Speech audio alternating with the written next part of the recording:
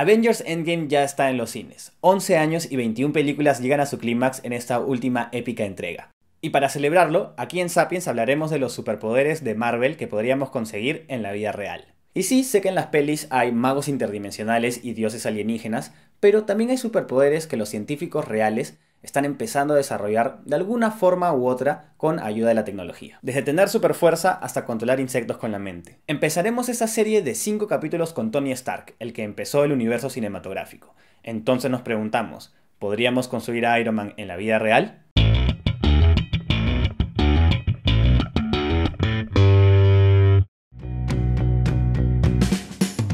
Tony Stark es un ingeniero y empresario multimillonario que usa sus recursos y su intelecto para crear el traje Iron Man. Una armadura que le permite tener superfuerza, resistir disparos, volar y muchas otras cosas. Y sí, sé que a este punto todos conocemos a Iron Man, pero igual hago el resumen para mi vieja. Hola Ma, gracias por darme views. Lo que tal vez no sabías es que Iron Man fue creado por Stan Lee en colaboración con el guionista Larry Lieber y apareció por primera vez en el cómic Tales of Suspense número 39 del año 1963. Ya por esos años se estaban creando las primeras máquinas que se usaban en el cuerpo para potenciar las capacidades humanas, llamadas exoesqueletos. El proyecto Hardyman empezó en 1965 y fue una colaboración de la empresa General Electric y el ejército de Estados Unidos. El exoesqueleto fue pensado para un uso industrial.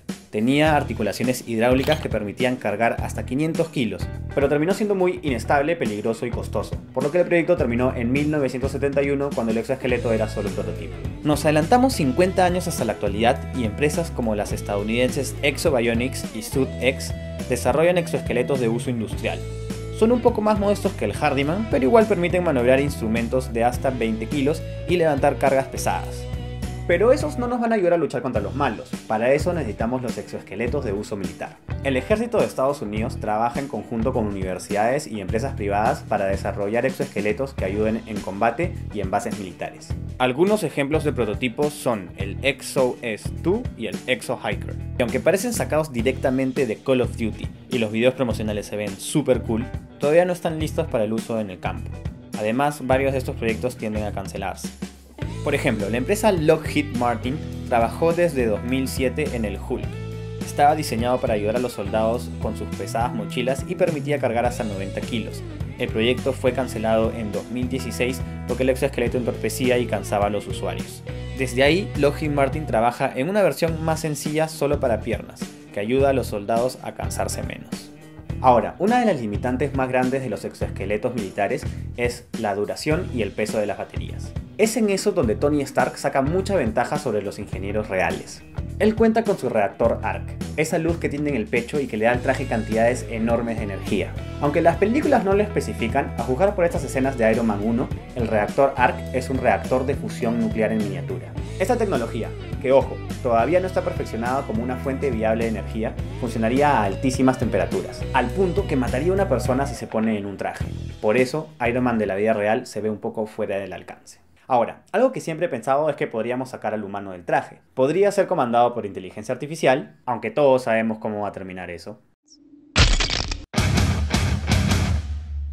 O podemos manejarlo de manera remota como a veces lo hace Tony Stark. Podríamos utilizar interfaces cerebro-computadora o BCI por sus siglas en inglés. Los BCI leen las señales eléctricas de nuestro cerebro y utilizan esa información como comandos.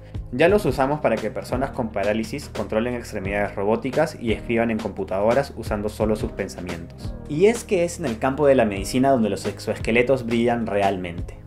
Empresas como la japonesa Cyberdyne desarrollan y venden exoesqueletos para que personas con impedimentos motores vuelvan a caminar. Estos trajes leen las señales eléctricas que tu cerebro envía a tus músculos para que estos se contraigan. Luego utilizan esa información para que el exoesqueleto se mueva contigo, mientras que una microcomputadora incorporada ayuda a corregir y completar los movimientos. Otros ejemplos de exoesqueletos terapéuticos son el Rewalk y el Exo GT. Ahora que ya hablamos de exoesqueletos, ¿cómo nos va con volar como Iron Man? Bueno, tenemos que hablar de los jetpacks. Desde los 60 los jetpacks han sido cohetes de propulsión que solo podían volar alrededor de 25 segundos. Por eso han permanecido solo como una atracción hasta hace poco, que la implementación de microturbinas está cambiando el panorama. El ejemplo más parecido a Iron Man es el inglés Richard Browning de Gravity Industries. Este jetsuit alcanza 50 km por hora y vuela hasta por 5 minutos. Logra estabilizarse y maniobrar gracias a microturbinas en los brazos. Y si crees que así se parece al superhéroe, mira uno de sus prototipos. Bueno, todos estos ejemplos son solo una parte de todo lo que existe hoy en día. Hemos tenido que dejar muchos ejemplos afuera para que el video no sea tan largo. Ahora, haciendo esta mirada general, sí parece que estamos un poco lejos de construir un traje como el de las pelis. Pero tengan siempre en cuenta que la tecnología avanza súper rápido y creo que es cuestión de tiempo hasta que Iron Man sea una realidad. Ahora, esto me hace pensar, es muy probable que los supersoldados del futuro no tengan que enfrentarse a ejércitos de extraterrestres malvados como en Infinity War, sino a otros seres humanos. Así que esperemos que estos exoesqueletos sean utilizados con sabiduría. Trabajemos para que esta tecnología sirva para crear ambientes de trabajo más seguros, para darle una ventaja a los que arriesgan sus vidas para salvar a otros y para tener un futuro en el que todos tengamos las mismas capacidades. Eso sí suena bien chévere.